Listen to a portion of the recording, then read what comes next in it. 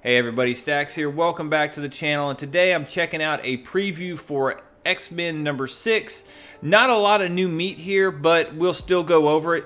It's of course written by Jonathan Hickman and it's written or drawn by Matteo Buffagini. Buffagani? I don't know how to pronounce that. I think it's Buffagani. Buffagani? Whatever it is. Anyways, uh, before we get started, make sure you hit the subscribe button, leave a like, and leave a comment down below. Let me know if you're planning on picking this up or not. Um, also, if you go check out my X-Men Fantastic Four number one video, uh, you can find out the details on how to enter to win all four of those uh, issues when they are released.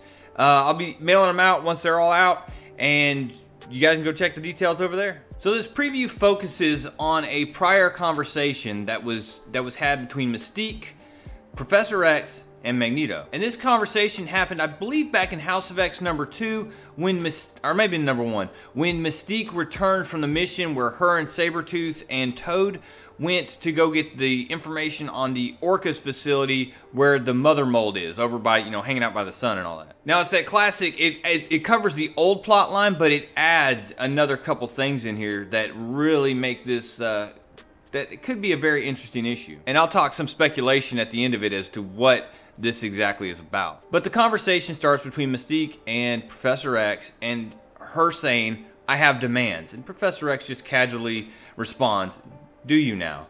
Is helping your fellow mutants not reward enough for you, Raven Darkholme? And she just responds, No, no, it isn't. I need more. And Professor X, of course, raising the old finger to the head, says, Yes, I see. But it's fair, I suppose, because we have further demands as well. And then I like this because they get a little catty. She's like, Really? He's like, Yeah, I'm afraid so. She's like, Is helping your fellow mutants not reward enough for the great Charles Xavier?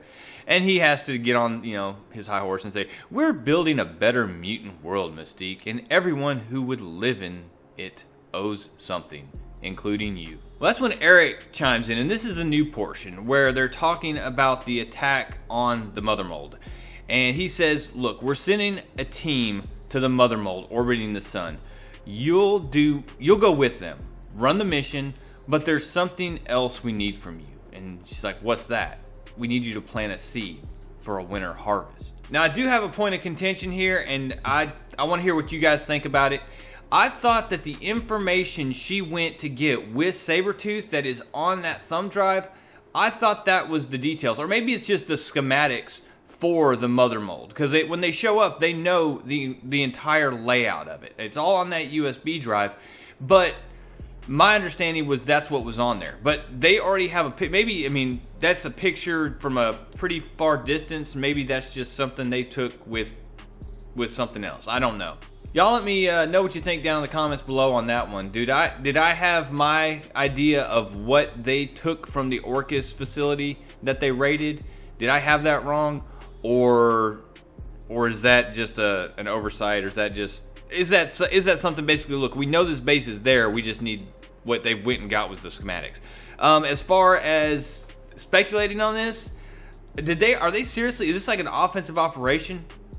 So something that's pretty common is you'll and you'll see um, is you kind of hit the second wave, right? So an attack happens. Um, and this is meant to draw in first responders. This is especially in like terrorist type situations. An attack occurs. It's meant to bring in first responders, and then once that ha- that's happened, you set off a secondary device. Now, is this similar to that? Did they plant a seed there on this faci- this Orchis facility, hidden somewhere, that they plan on springing into a gateway?